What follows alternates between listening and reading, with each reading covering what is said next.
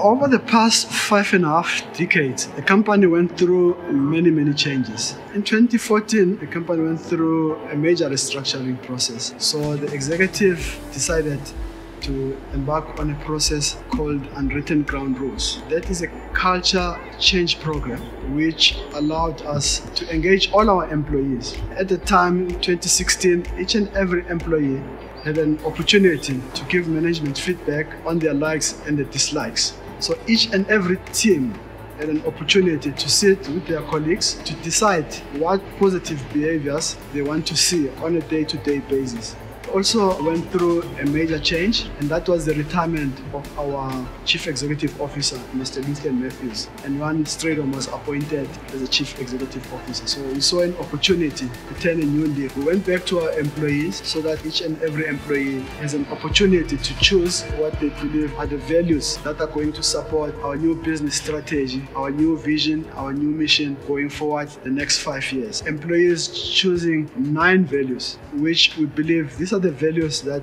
each and every employee must uphold and each and every employee must respect.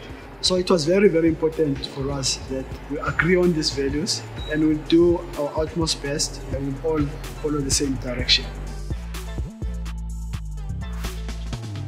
We had very good values in Columbus, but as we discovered when we implemented and utilized the UGR program, which is our unwritten ground rules, it was clear that we had an opportunity to actually involve our people into the values and not only decide as management what the values should be. So I think we had a, a good process there and it was well supported by the team to actually assist us in terms of determining the new values of Columbus as we go forward. I think it's a fresh Columbus and it's a younger Columbus and we need to take that forward. We need to embrace the change. We own this not only to ourselves as a business, we own this to our employees and to our local community. If we are successful, our people will be successful, and if our people is successful, we will have a successful and sustainable community.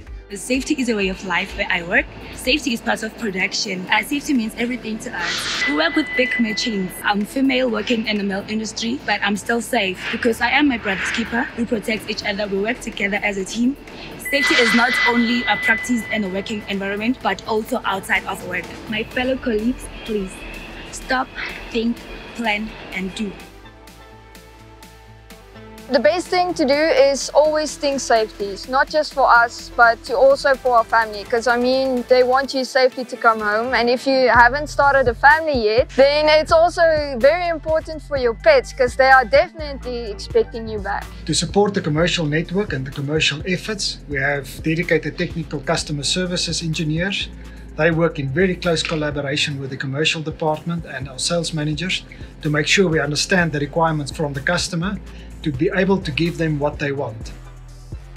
Around here, it's important for us to count on one another and to work as a team. Every single area in the steel plant counts on the, the area preceding it to make sure that we can eventually cast a good slab. A good example is, for instance, the electric arc furnace counts on the raw materials department that we get the right materials and sufficient amounts of it to make sure that we can melt it so that it can give the AOD the right transfer chemistry and the right mass. The AOD also counts on the arc furnace to give it the required tap mass as well as the required transfer chemistry. The ladle furnace on the other hand counts on the AODs to allow it to do as minimal adjustments as is required. And the continuous casting machine on the other hand counts on the ladle furnace to ensure that it gets chemistry that is within specification but also the right temperature. So around here within the steel plant, each area counts on the area preceding it to be able to make the slab that we need to make. And so it carries on through the rest of Columbus, where each section and each department contributes to eventually produce a sellable product to the customer. Each and every employee to understand and to know that together we can do more and live the value of my plant, my pride. We have a UGR system by handing out recognition awards to our employees that is showing these values. We hang it up in a place for everybody to see. I love my job. I had the privilege of being nominated for going beyond the call of duty. A pat in the back gives you more courage to, to, to, to face on tomorrow or any other challenge. So personally, I feel that if you're tapped in the back not that it's needed, but the tap in the back, you go a long way. When I see my, my picture here and my fellow brothers' pictures here, it makes me feel proud.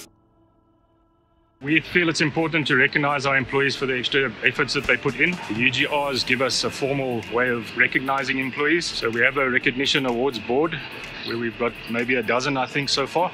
I think in the beginning it was something new and took a while to get off the ground. But as we started going forward and as we started recognizing more employees, then the, our guys' eyes open and they, they start to appreciate what it is. I think the UGR also contributes to better performance because the employees want to be recognized and then it makes them look for opportunities to do better or to do more, which helps us to produce more tons and perform better. You may ask the question, why recognition? Why is this important? You see, the attitude of gratitude, the attitude of appreciation is why we do it. A simple thank you goes a long way. You see, here at Columbus, we know that we can do better. We know that there is room for improvement. And so, when we go that extra mile, it's not the extra mile, it is us doing what we need to do to ensure that things get done and things get done well. So when we do that, a pat on the back, a simple thank you. But here at Columbus, we go a little bit further than just saying thank you. We have a structured way of thanking our employees. We have an unwritten ground rule, which we formalized. We take a picture of you, we put you in a wall of fame,